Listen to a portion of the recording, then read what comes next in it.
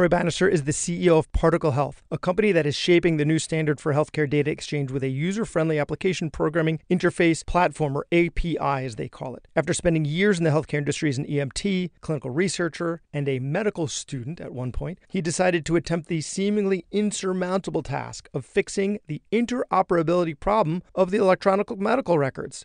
Particle Health gives application designers and therefore patients through those applications access to their records and ways to use them. You'll get a better understanding when he explains it. So we talk mostly about how he came up with the idea for Particle Health, the precedent in the financial industry, the example being Venmo, which most of us use, how the interface works, and why blockchain actually isn't necessary for the portability and security. Welcome to the Physician's Guide to Doctoring, a practical guide for practicing physicians. Dr. Bradley Block interviews experts in and out of medicine to find out everything we should have been learning while we were memorizing Krebs cycle. The ideas expressed on this podcast are those of the interviewer and interviewee and do not represent those of their respective employers. And now, here's Dr. Bradley Block. And now a word from this week's sponsor, Laurel Road. Buying a home like the one I grew up in has been my dream. We had this great yard where my brother and I would run under the sprinklers. We had a big kitchen table where I told my parents I got into med school. Now I'm a member of Laurel Road for Doctors, where I got a great rate on a physician mortgage and was eligible for no money down and no PMI, so I can make new memories in my own home. Laurel Road for Doctors. Banking insights and benefits uniquely designed for doctors. See laurelroad.com slash doctor home for full terms and conditions. Laurel Road is a brand of KeyBank NA and equal housing lender. NMLS 399797. Troy Bannister, thanks so much for coming on the podcast. Thanks for having me. So tell us your origin story. What is the particle health, or I guess even the Troy Bannister origin story? Yeah, uh, two, two are the same. Um, been in healthcare my whole life. Uh, when I was uh, 18, I decided to become an EMT. Um, started working in ambulance through college on weekends and breaks and summers. Totally fell in love with medicine doing that. Um, ended up switching to pre med. Went out to Georgetown for uh, my first year of med school and absolutely hated it. Um, ended up leaving. Got hold a, on, hold on. Yeah. What year were you there? I was there 2012. I was there as well, 2012. Were you? Did, oh no, no, man, crap. No, I did residency there from 2006 to 2011, so just missed. Okay, just missed. All right, just missed. So it was there 2012. Um, you're probably familiar with the SMP program then perhaps. Yeah. Uh, so I did that. Um, after that, I decided I didn't want to go forward. Um, and so I ended up getting, taking the master's degree. I um, came to New York. I was doing clinical research for a couple years at Mount Sinai. Um, got kind of pulled into the digital health side of things back then, which was pretty nascent at the time, and thought, hey, you know, the cell phone and the internet are not used as well as it could be in, in the healthcare world. And so I joined a, a, small venture capital firm called Startup Health out here in New York. Um, we're investing in very early stage digital health companies, like two to five people um, size companies. And I just recognized this huge issue, uh, which was that no matter where I was in the ambulance or the hospital or working with entrepreneurs, nobody had access to medical data at, in a really good way. And when I looked at other industries, I saw companies like Plaid in the finance space or Twilio in the communication space and thought, hey, why is there no API company or data um, aggregation company that works really well for for other folks um, in the healthcare space? And so I decided to start Particle. Sorry, Plaid. And I, yeah. I think if you explain what Plaid is, it's going to help our listeners understand a little better how you came up with this idea. Because yeah. me, as a physician, look at the fact that there's no interoperability between EMRs as an insurmountable task. Yes. Right? Not something that I could ever consider fixing. And you were like, eh, I think I can fix that problem. Yeah, we think we can fix it. Um, you've probably used Plaid before. Um, if you've ever used Venmo or Mint or Robinhood or ever bought crypto in your life. Uh, no, I've done none of those things. My wife is the one that does the Venmoing in our relationship. You must have like said, Venmo I'm 43. I don't Venmo. You've never Venmoed. Never. So never. so funny. Every time I Venmo I by proxy. I, I, use Venmo all the time as an example, and I've never run into somebody that's like, no, I've never done it. Nope. so this is my first time doing that. Uh, Venmo is the app that you send five dollars from your bank to five dollars to your friend's bank. It's super super easy to do. You can do it with your phone number and their phone number. Basically, it's as easy as it could be. And behind Venmo is a company called Plaid. Plaid's done all the hard work of connecting into every bank in the United States and consolidating that all down to a single developer platform so that Venmo could be built. It took the developers to build Venmo a very short amount of time because Plaid had already done all the legwork of making these connections and standardizing the information and the exchange of, of that data. So in a, in a similar way to healthcare, we connect to all the practices, clinics, hospitals, labs, pharmacies in the US, and we have a single entry point for developers to come and build things on top of, very similar to the way Plaid supported a company like Venmo. But Plaid is pulling in numbers. Like you have this much money in this account. Like that's a pretty basic piece of information as opposed to like a cat scan. Like and so when you're as a as as a programmer i guess is that what you would call yourself? Uh definitely not me. Not a programmer okay. Yeah. Uh, well the ceo of a tech company um sure. when you're when you're thinking about that do you think like well when plaid did it it's just numbers which are you know ones and zeros in computer language and if we're getting a cat scan it's just ones and zeros in computer computer language there are just a lot more of them uh, yes and no. Um, I think if you dig deep into Plaid, it's a series of transactions and information about those transactions, um, where the purchase occurred, how much it cost on the date of the, the purchase. Um, there's probably inf- meta information about what bank went to what systems. There's a lot of stuff that goes behind the scenes that's important. Um, I do agree with you that healthcare data is much more robust and complicated. Um, when you're creating a, the representation of a person's health in in data format, it's it's a complicated system. Um, you maybe you're familiar with FHIR, the Fast Healthcare Interoperability Resource Standard. No, and let's assume no. the listeners aren't either. So FHIR is a new data standard, and I say new, it's like probably seven years old, but it's the first time the healthcare industry ever agreed on saying this is how we're going to store data. We're going to store it the same way as everybody else. Epic, Cerner, Allscripts, NextGen, they all use FHIR now. And so it used to be like uh, back in the day, it was MUMPS, I believe, was the way that they stored data, which is an old school, like 80s, 70s way of storing data. And nobody used the same standards. So if you wanted to send a record from an Epic site to a Cerner site, it would not be able to ingest and use that information and display it in the EMR. But now that everybody's on fire, right? Uh, yeah, pun. Um, you can easily send a record from one place to another. And so there's been a lot of work that's gone on behind the scenes to to get everybody to use the same standardized way of representing um, records. Um, Wait, but isn't so, that what you guys are doing?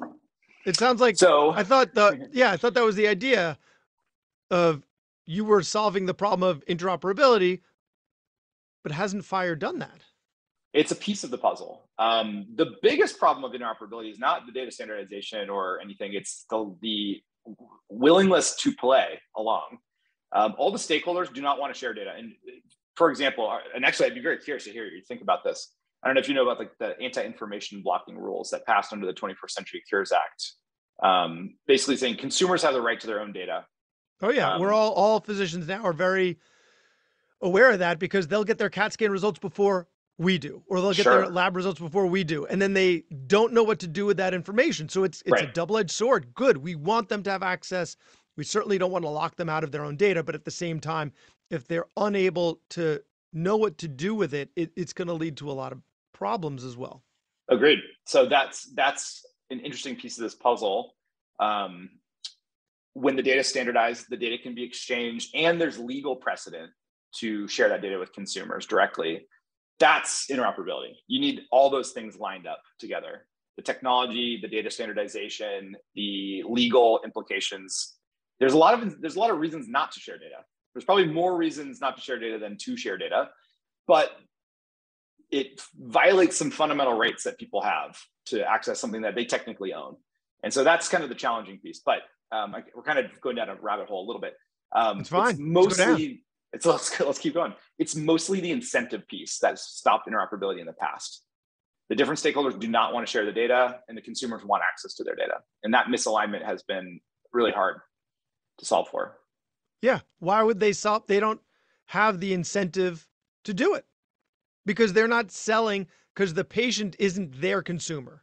Like if you're Epic, if you're Cerner, the hospital, the big medical practice, they're your consumer, not the patient. So right. they're not selling it to you, they're selling to so yeah, and then the doctor, you're client is the patient.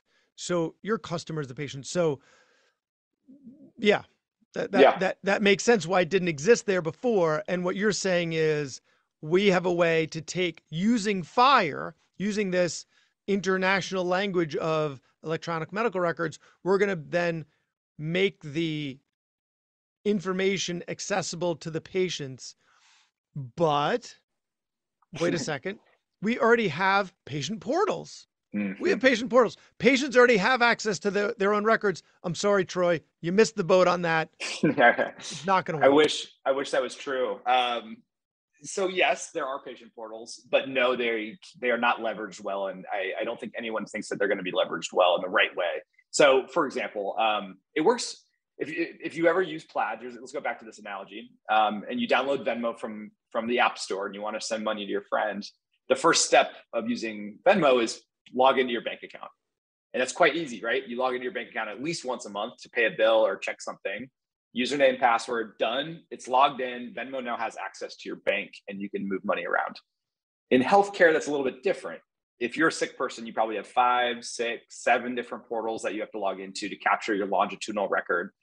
You cannot request a new password legally online. Or, you have to go. or sorry to interrupt, Troy. Yeah, yeah. or you're in one health system and you're locked into that health system because you want all your providers to have access to the same information. So you're going to say, you know what? I need a neurologist, but I'm only going to go to neurology to find, look in system X so that all my doctors are in the same system. And So so, I think you're where you're going here is, well, you won't have to do that anymore. yes, you're, you're kind of getting to the main kind of hypothesis behind all of this is that the data being locked up eliminates choice for the consumer. They can't choose what they, how they want to access care, where they want to go, how they want to do it. And the hypothesis behind Particle, in the same way that there wasn't with Plaid, was hey, I don't need to go to the bank anymore to send money around. I can go download an app from the App Store and use this tool that was built really, really well for consumers. Or I don't want to go to Merrill Lynch to trade stocks. I want to use Robinhood, app, the app, which gives me way more flexibility. I can buy a tenth of an Amazon share with Robinhood. I can't do that with Merrill Lynch the innovative side of, of healthcare enterprise is stunted because people don't have choice. There's no money flowing other than the system that they go to. So what if it didn't? What would happen if we could free this information out and allow other organizations and other people to create things that weren't locked up in a health system or built for a health system? That's where it starts to get really interesting. So who are you hoping are going to be the Venmos since we keep going back to that that that app um that I've never used. Yeah, yeah. Who are you hoping are going to be the Venmos of Particle? If I knew the answer to that, I'd start another startup right now. Uh, so that's that's the short answer. Um, I think the the the second answer, which is a little bit better, is I don't think we'll know it until we see it. When Plaid created their platform, there was no such thing as Bitcoin really at the time, and they literally were the stepping stone for cryptocurrencies to take off because it was the fastest way for somebody to buy a Bitcoin or an Ethereum or whatever they were buying. We don't know what's going to happen in healthcare, but it's it, the only way that we will find out is enabling this kind of Cambrian explosion of different ideas. And you can't create that Cambrian explosion of ideas unless you reduce the cost significantly to start and create one of those those solutions. And right now, you have to spend years plugging into hospitals and EMRs and millions of dollars to build that infrastructure so that you can access the data before you can start innovating on top of the data. And so, just like Plaid did, it eliminated that high cost kind of hurdle. So people could just focus on building Venmo or just focus on building Mint or Robinhood and not worry about building integrations and standardizing data, which just costs and takes so much time to do. So it's really the stepping stone that we're hoping to create. Okay, so I've come up with an idea. Okay, let's do, let me get my checkbook. Yeah. So as as an employer, so this isn't on an individual level, but this is on like an employer level. Let's say you're a large organization, right, that Sure. employs thousands of people, right? Is there a way to then take their take your and and you're they're all on your health insurance, right? To get access to their information, but without their personal information. So like let's say I find out that only 10% of my staff is getting their flu shot and that you know we ha- we have to pay for x number of hospital admissions for pneumonia and we know that flu shots decrease your risk of getting pneumonia. So because I don't want premiums to go up and the cost of healthcare to go up I'm now going to offer an incentive for my staff to get flu shots. Great 100 bucks for any flu shot. I did the math. If if this works out, out we're going to actually save a bunch of money. So is is that something that will be applicable, or is this really just for individual patients to use their own data? No, you, you nailed it. That's exactly the type of thing that we support. Even today, we don't work directly with employers right now. We work with providers, but we enable things very similar to this population health, value based care, predictive analytics, um, care coordination, risk modeling. That's all in the, the bucket. So is there also a, a role for using the data? So I'm the I apologize. The term escapes me where you're taking someone's personal information out. Sorry, de-identify. Thank de-identify. you. Where you're yep. de-identifying the data, um, and then use that for research. Yeah, this is all on the table in the future for sure. Okay. Yeah. Be- because you know, right now, if you're in like the VA health system, you can you can de-identify. I mean, I don't know if they actually do this in the VA, but I know it's such an enormous health system that if you were able to de-identify data, you could really run a lot of retrospective studies to try and get some information. It's it's like a ton of data to be mined. And so what oh, you're yeah. saying is we can now take you we can use particle to identify everyone in the US health system and then start mining that data to see what we can figure out. I think it's an extreme statement, and so we would never just run a query on everybody in the United States. that would get us in a lot of trouble. But with with the applicable consents, authorizations, IRBs in place, yeah, you could start doing these types of things. Um, you know, you could even go so far as doing identified research with consent and authorization, right? So, like, let's say let's say a drug is coming to market, it's in phase three. They've done the human trials and it looks good, X, Y, Z um, what if instead of running a multi-billion dollar, multi-site research prospective study, you just get people's permission and you track. You make it sound so easy. Did they go to the ER? Did they pick up their meds on time? What were their last lab results? And you do that at a scale that allows for unbiased, prospective, real-time data collection on a group of people that are taking a new drug, like kind of like a post-market surveillance, low-cost study that's like just so easy to do with something like this. Um, and that's kind of what the future looks like, I think. So rather than, so because you'd have access to all of the health systems that they use, like yep. I, I guess you'd yep. have to be plugged into, so all of them would need to be participating. So we are plugged systems. into we are plugged into um, about ninety percent of the EMRs. We have access to about three hundred million people's medical records. Um, the way the API works, just so you know, you just put in someone's name, date of birth, address, phone number. That's it. And we can go find all their medical records from around the United States. We have about a 90% success rate in finding all your records. And we find about 105 records per patient per search uh, on average. So we're, we're plugged into most of the, the endpoints now. So when you say they're medical records, yeah what does that mean? Because for some of the listeners that are closer to my age, you might remember a, a, a YouTube skit. I think it might have been done at like the graduating medical school class at Harvard like 10, 15 years ago. That there was this, they were lampooning outside hospital. Now, right now, I am a community attending at outside hospital. So that's, this is me. So when you transfer patient from outside hospital to academic hospital, you know, the academic hospital is hoping for CAT scans, MRIs, and lab results, and maybe a summary of mm-hmm. what's been going on with the patient up till now. But we used to get that with a stack of like a hundred pages of yeah. vitals and nursing notes of like transferred the patient and you know so so how do we tease out or how do yeah. you help yeah. the user to tease out the usable useful data from the not so useful data so you're you're right i think our the first mission at Particle is can we put in someone's name and get all their medical records? And we've basically done that at this point. The second mission that we're on right now is okay, we just got a ton of information about Bob Smith. What does the clinician need to know right now in this moment? And so this is actually where FHIR comes in, this fast healthcare interoperability resource.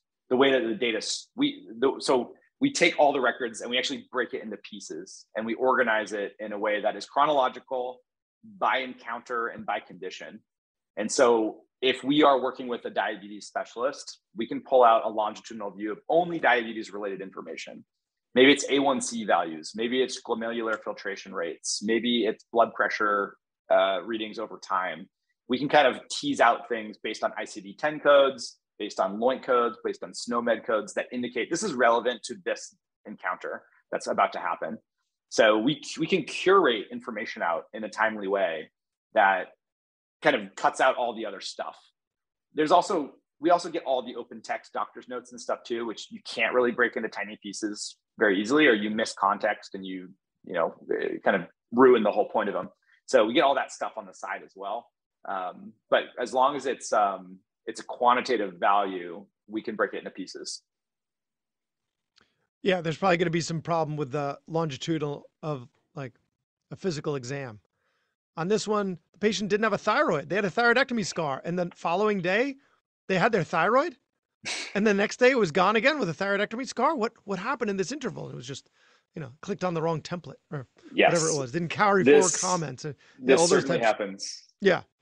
Yeah. Um, but but ultimately you particle isn't the interface. Particle isn't the one that we're going to be interfacing with. It's going to be an app that's built on particle. So they whoever the the programmer is needs to make sure that labs are easy to find scans are easy to find whatever it is they need to make the interface user friendly unlike unfortunately a lot of the emrs out there. Yeah i, I would say um, our data pops up mostly in emrs uh, most of our customers use EMRs, whether they bought it off the shelf or built their own version of an EMR. Um, and then there's an increasing amount of like pure applications too on top of that. So who'd you get have to get permission from? You have to get to, to pull the, the data. Is it the EMR or the hospital? Uh, wow, this is actually a relatively complicated question. so um, the there are nonprofit government sponsored organizations that are promoting interoperability. And an example of one of these groups is, a, is an organization called Carequality that you probably have never heard of before. Um, it's run by a group called the Sequoia Project, which is run by um, the Office of the National Coordinator of Health, which is run by HHS. And so it's which which is mandated by the White House to do things.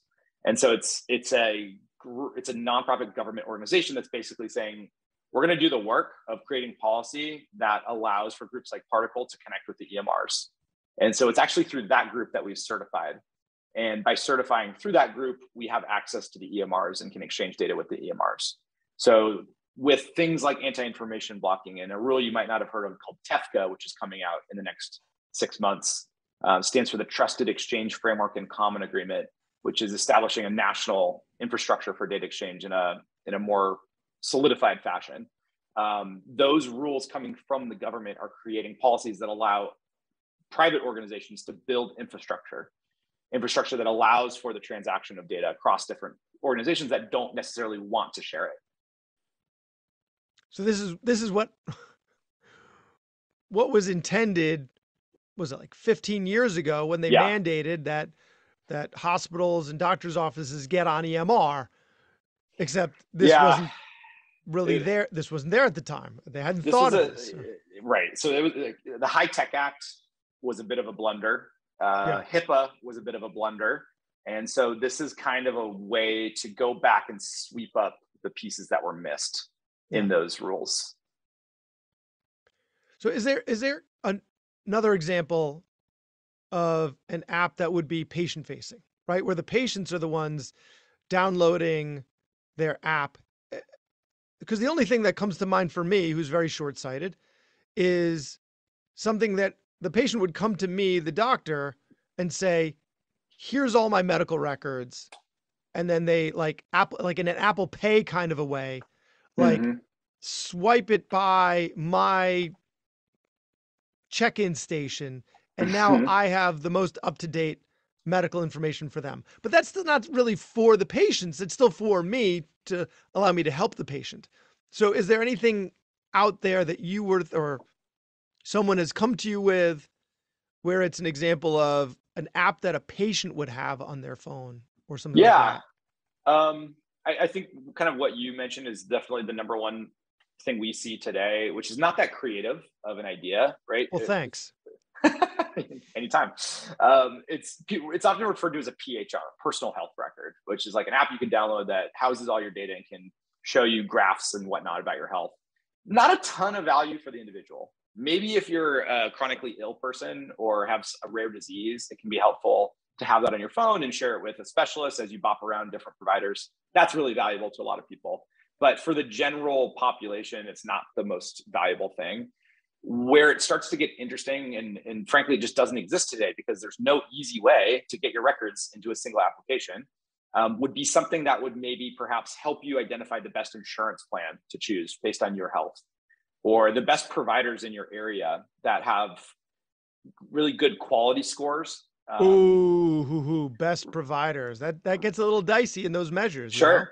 It does. It, maybe we're not going off HEDIS or STAR, but you know something relevant to the disease profile that you have as an individual. Um, there's a lot of kind of like, let me help you make consumer based decisions in the healthcare space that people just have a really hard time making today because they don't really have to base it off of anything. They don't really know how to base it. Um, so these are types of things. That's interesting. That the, the health insurance one is is an interesting one because as people are making their decisions right now, they're more, you know, they they really can't anticipate what it really means, right? If they have a high deductible plan, then there's they're like, "Oh, great. I'm a healthy person. I am like I'd rather have the lowest premiums, so I'm going to do that." And then anytime they go to the doctor, they don't recognize how much it's really going to cost because they're deductible. Um, and, and totally. you know, the same in the other regard. Maybe they're just someone who's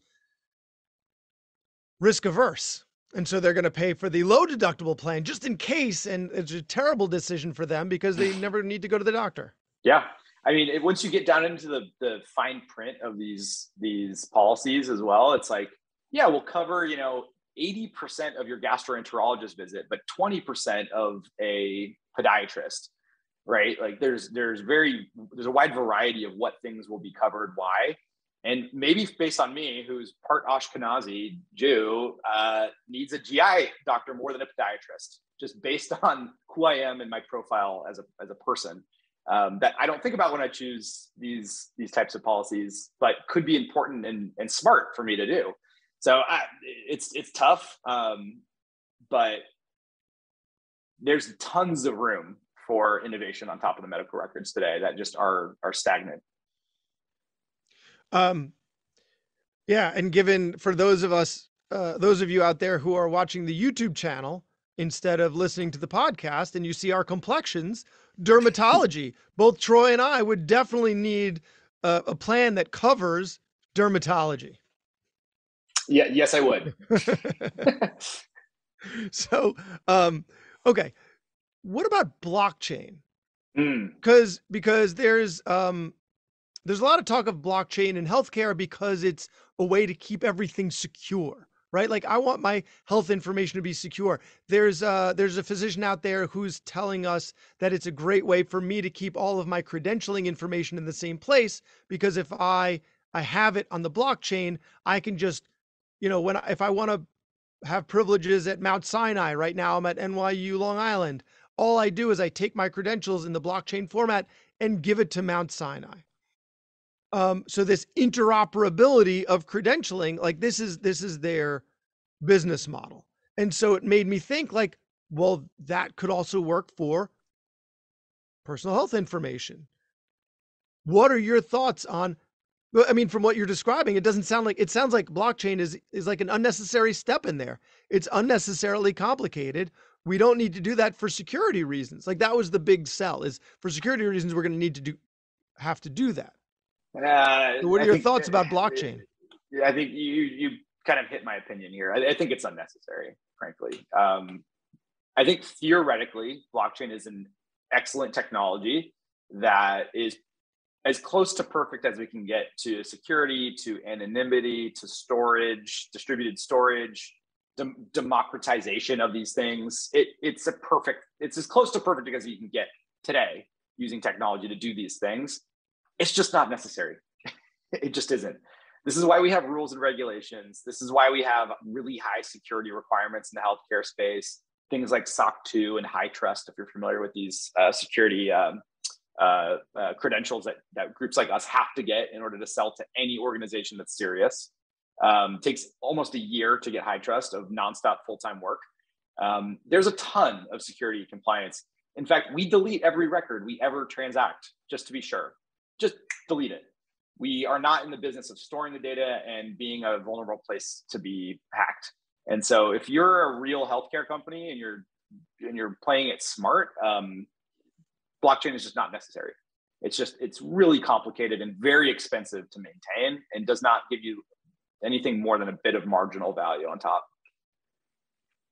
Because it seems like the the trade-off of accessibility is privacy right? You're losing some privacy by having accessibility. And what you're saying is the accessibility is not like it's ultimately the emrs that are the gatekeepers.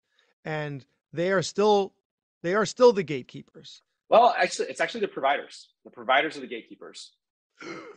Yeah so, so here's an interesting fact for you. Um, the enter information blocking rule that says consumers have the right to access their data through technically feasible ways is in law right now. It's enforceable. And yet every request we've ever made for on behalf of a consumer to request their own record has been denied by the providers. We've run hundreds of them, if not more. Providers will not share data directly back with consumers, even in this in with the rule in place today. Now, the caveat is it may be enforceable, but the fines have not been set yet or been distributed yet. October 6th of this year, the Office of Civil Rights is capable of issuing fines up to a million dollars per infraction for info blocking. so what happens is like let's say we have an app as a customer and you download this app on the app store you're like, I want to pull my medical records into this app. So the app sends particle or request for your records. We send it out across the network. We hit Epic and Cerner and Allscripts and Athena Health and Meditech and NextGen, all these groups. They pass it down to their provider organizations, and the providers decide, I will respond or I will not respond. That's where the buck stops today. The EMRs are passing these requests down to the providers, and they're saying, Do you want to respond? And of course, this is all happening like electronically, like, you know, it's automated. But the providers today do not respond. They just would rather not give the data back to the consumer. Unless there's Esquire after the name, in which case then uh, yeah. That's that's been our that's been most of our experiences though. Like whenever someone's yeah. requesting data, it's usually a lawyer. And I will complain about this to the end of time. You never know whether the person's just like claiming disability, so they need their medical records, or they're suing you. So I never know whether it's like someone who's coming after me or they just want their records for their own reason. But either way, yeah. yes, we should be. Yeah. They are still their records. They're owned by them, and and we and we should be sending them to them. Yeah, so, so it's interesting. Okay, so this is a physician facing podcast. That's my audience. My audience is physicians. Why did you want to come? Hi, everybody. Why did you want to come on the podcast on, a podcast that's physician facing? Because it seems like, you know, the next step for you would be, you know, raising another round of funds and hiring more developers and growing it and, you know, looking for some some finance people. Why is it that you wanted to talk to physicians? Well, I mean, first of all, we just closed our last round of financing. So the money's in the bank. And so we are hiring and we are building and we are making what we have better. Um, the most important thing for me, though, as the as the CEO, is providers are end users, right? They're the ones that are at the end of the day looking at the data that we get them, that help them make clinical decisions about the patients that sit, are sitting in front of them, either it's digitally, virtually, or in person. And so, I mean, my my whole dream here is that providers are breaking down the doors at their organization, saying, "Why don't I get a clean view of my patient's historical medical records?" Like I, I as a provider want and need context around the patient to provide the best possible care I can. And I want to be that solution for them. I want them to be like, I want to know the medications my patients are on. I want to know the lab results from last week at the doctor across the street. Um, I want to know you know the comorbidities of the patient before they walk in the room and that's what we do and so i want the kind of i want to get the word out to the providers or who are the ones at the end of the day that are using particle and so where can we find particle and where can we find you uh, you can find me in brooklyn walking around uh, north uh, north greenpoint um, or you go to our website particlehealth.com and click, click around um, super easy to get in touch with us through the website. There's a contact us form, or um, you can just shoot me a message on LinkedIn. My name's Troy Bannister, or just search Particle Health and find me. Troy Bannister, Particle Health. Amazing stuff you're doing. Thanks so much for all your work and for your time. Thank you. That was Dr. Bradley Block at the Physician's Guide to Doctoring. He can be found at physiciansguidetodoctoring.com or wherever you get your podcasts. If you have a question for a previous guest or have an idea for a future episode, send a comment on the webpage. Also, please be sure to leave a five star review on your preferred podcast platform. We'll see you next time on The Physician's Guide to Doctoring.